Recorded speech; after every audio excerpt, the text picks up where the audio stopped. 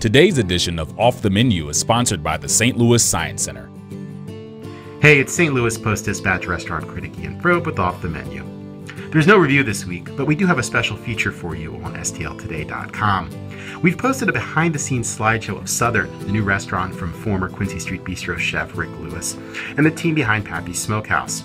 Southern is located in the same Midtown building as Pappy's Smokehouse, and it's due to open next week.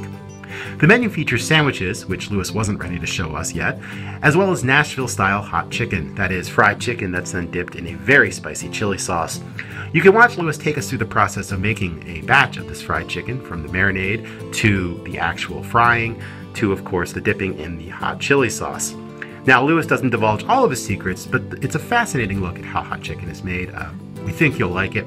And if you're hungry for spicy fried chicken after viewing the slideshow and you can't wait for Southern to open, this week's edition of Ian Eats STL, our subscriber premium column, shows some recommendations of my favorite spicy fried chicken around town, including Amigo Joe's, the Mexican restaurant that serves habanero marinated uh, fried chicken, Porter's Fried Chicken in Maplewood, as well as a couple of newer restaurants, uh, Old Standard Fried Chicken and um, the Pat Connolly Tavern, which I reviewed just a few weeks ago.